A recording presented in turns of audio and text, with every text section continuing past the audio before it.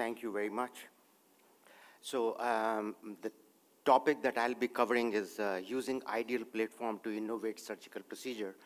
And uh, the example that I'll be uh, using is to develop robotic renal transplantation. Because the basic thing about developing a new procedure is that you should not do any harm. And that's the basis of using the ideal platform. So before you try and innovate a procedure, uh, you have to raise a question. You have to feel the need to develop that procedure. And it was that, you know, open surgery has been used for transplantation. Why hasn't uh, non-invasive procedure been tried for renal transplantation? And it's not that open surgery for renal transplant is without complications. It has its own quota of complications, published extensively all around, including surgical site infections. And despite that, in 2012, there were only three case reports uh, on attempt at robotic transplantation. One was through an open wound, another was the vascular anastomosis only, and in third one, they redocked in different positions. So the very limited information, no attempts, uh, and that the, the, question that came to mind is that you know, why is it happening? Why is it people have not been trying? So the background was to uh, develop this new procedure was to need to innovate in the field of transplantation uh, since the open procedure has its quota of complications. Uh, complications affect not only the short-term uh, patient convalescence, but we know that you know uh, poor recovery of function, acute tubular necrosis, in immediate post-operative period is going to impact the long-term outcome. So it's important that you know we need to have it, and how to innovate, we use the ideal framework uh, of surgical innovation.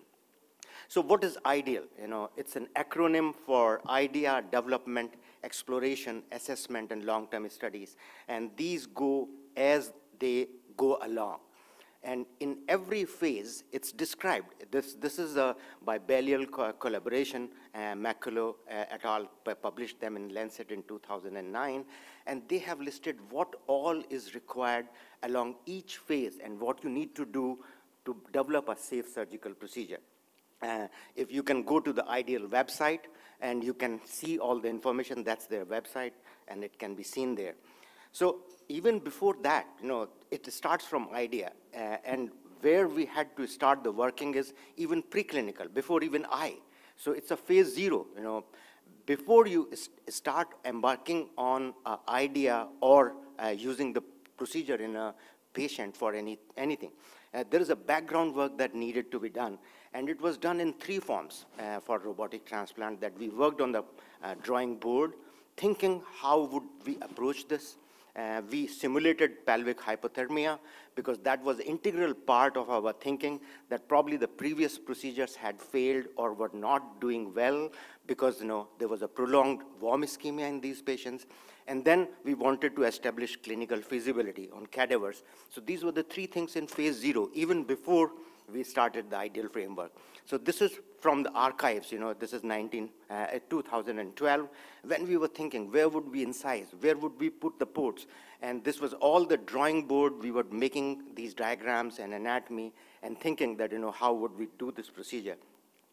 So regional hypothermia, on the other hand, the, that need why we wanted to do it is to provide a broader ischemic window that even if you take long time or redo the anastomosis, the graft is not going to get harmed. How? By delivering ice slush into the, directly into the pelvis. And it was done in 300 uh, radical prostatectomy models by instilling uh, ice in the pelvis and taking the temperature in the pelvis and the core body temperature.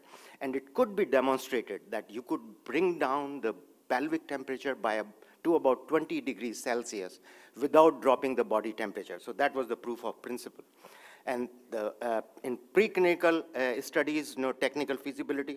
So uh, the, another thing was we wanted to do uh, was to prove the technical feasibility when we go to uh, real sur surgery room or operating room. And this was done on cadavers, performing four auto transplants, taking two kidneys and putting, hooking them in the patient itself. And then we, these are the real pictures from those cadavers and trying to put uh, the, that's the first one is uh, putting a gel point and uh, at the umbilicus, putting the ice slush, and then arterial and venous anastomosis, which were harvested for strength and proving the principle that yes, it would work in when we come to.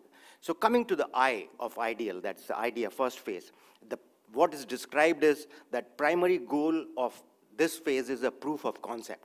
That secondary goals are that disasters and successes need to be reported, observe patient safety, and the surgeon learning curve uh, statistically. So these are mandated that, you know, while you do the, this phase, you should keep on doing that.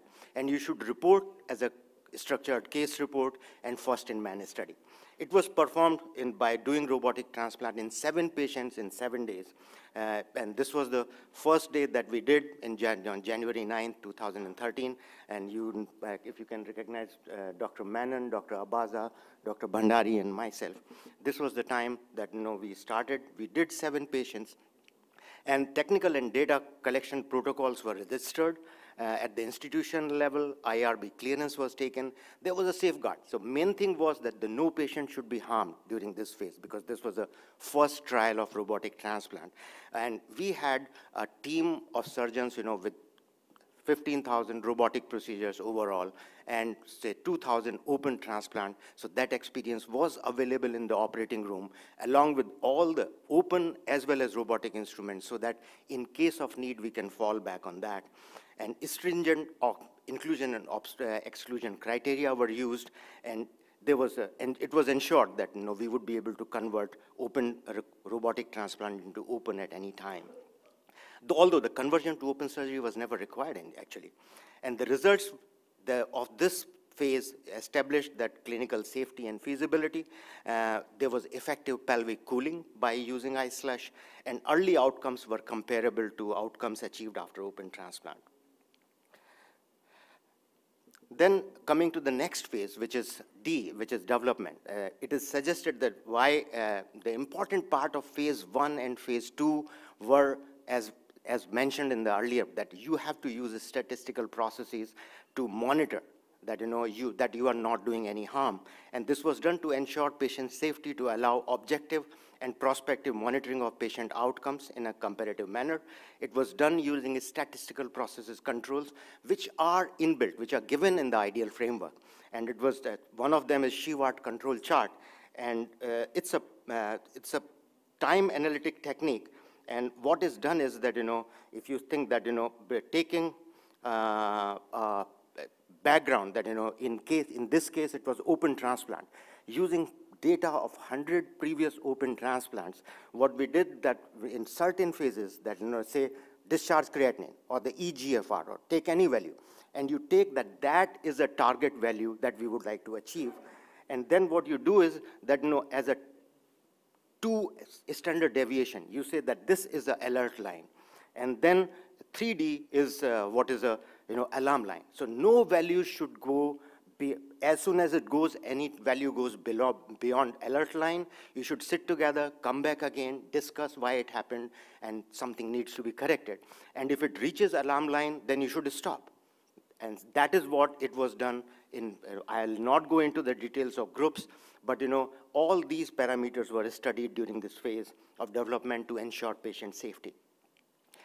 Uh, another statistical process used during this phase was uh, utilizing the same statistical processes to provide an objective assessment of duration of mentorship. So to see the, look at the learning curves that a surgeon lear learner might, might require. And it was done using cumulative summation. Uh, what is cumulative summation is that like if you say that you know, you have a background of open transplant and you perform vascular anastomosis, arterial anastomosis in 10 minutes, and suppose you are taking 20 minutes, so you are plus 10. And next time you take 15 minutes, uh, mm, so you are plus 5.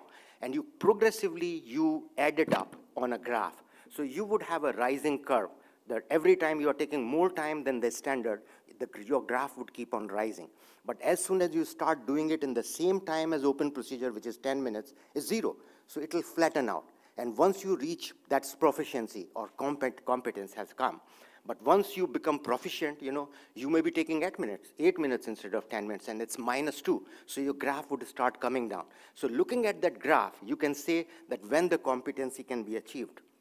And this, in this graph here, uh, we are not going into the groups, but uh, let this, this, look, look at this. This is the, at the top is competency. This is a group which was naive with robotic procedure.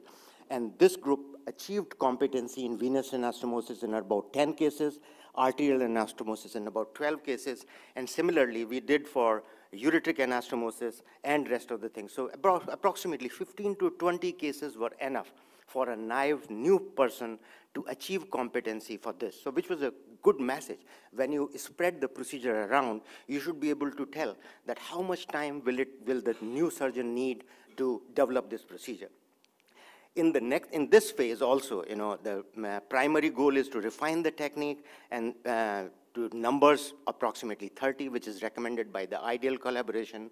The secondary goals is it is to be done after ethical approval, document safety and successes, and neg negative results should always be reported, and prospective development study is a, a method of reporting.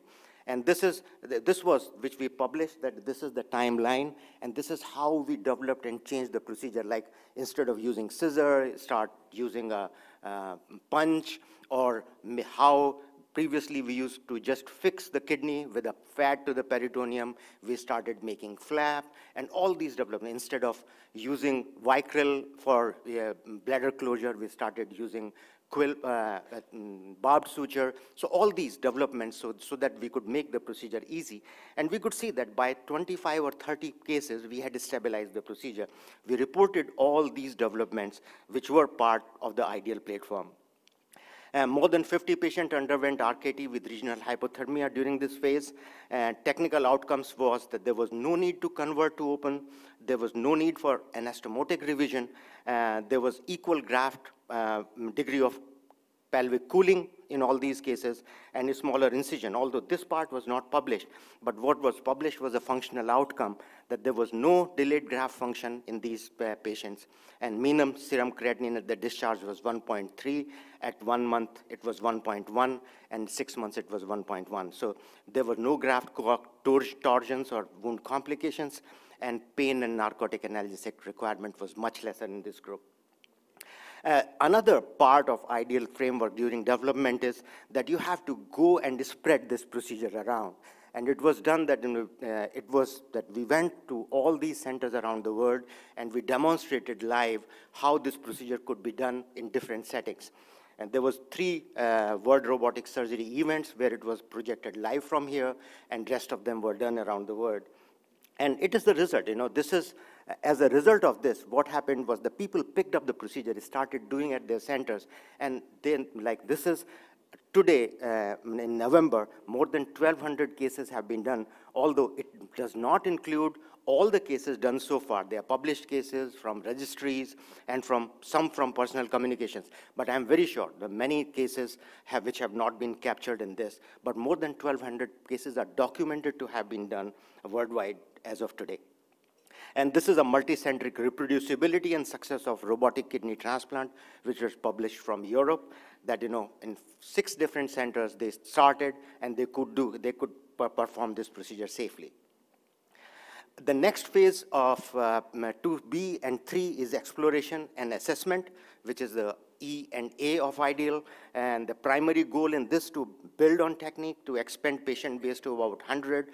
And secondary goal is to capture the data systemically.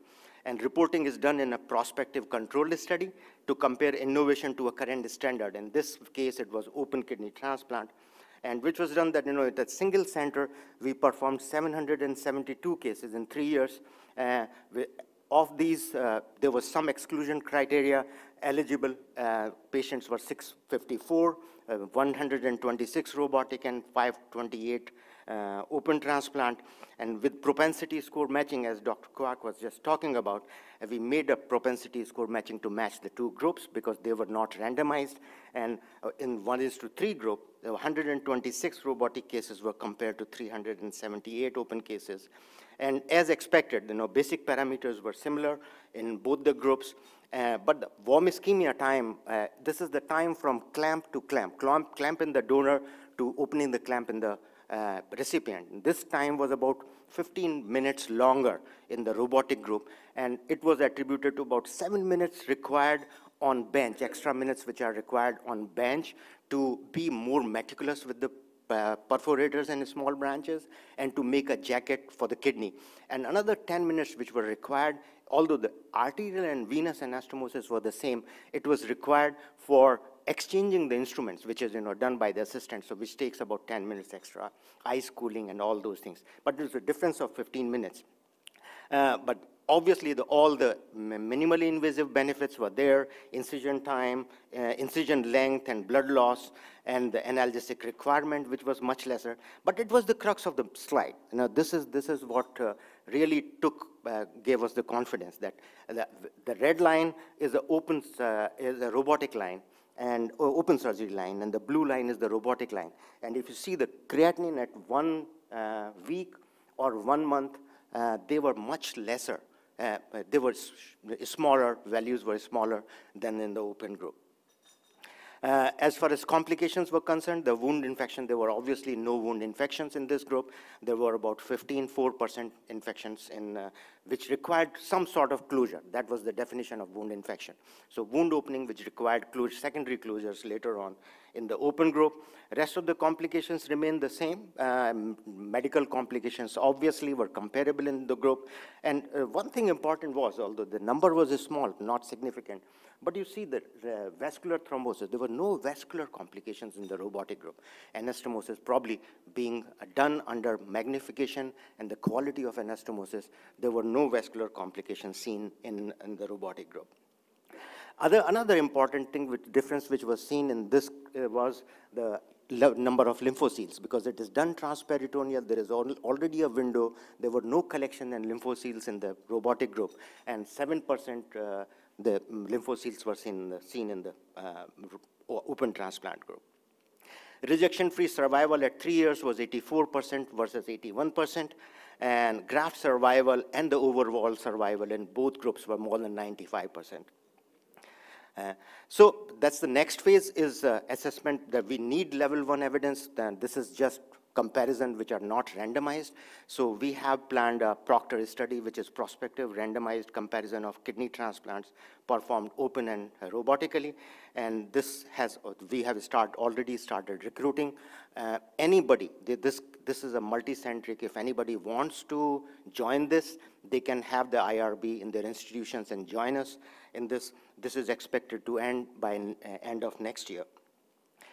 So last phase of IDEAL is a long-term is outcome. Uh, primary uh, goal of this is surveillance, and secondary goal is to report rare outcomes that were not seen previously. They were missed previously in, uh, in stage three. And this is ideally from registries. This again, uh, we have a prospective multi-institutional database, uh, which is at Vattikuti Foundation. We are putting the data right now in the database. So would we, there are 178 different observation points which we put in this. And there is a European registry of robotic transplant, which is uh, done by uh, Dr. Breda from Barcelona. So we would be able to compile from these registries and go ahead and report long-term outcomes in these patients. So in conclusion, it's possible to safely innovate a new surgical procedure using ideal platform and uh, this, I thank uh, the Vattikuti Foundation and uh, uh, Henry Ford Institution in being partner and helping uh, conduct this study. Thank you very much.